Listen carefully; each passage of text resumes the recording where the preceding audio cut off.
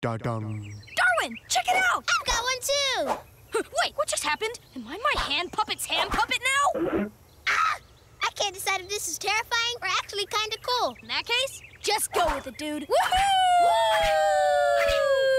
Woohoo! Da dum. It's that food I always dream about. I imagined it and now it's here. What does it taste like? I don't know. I never tasted it in my dreams. Do it.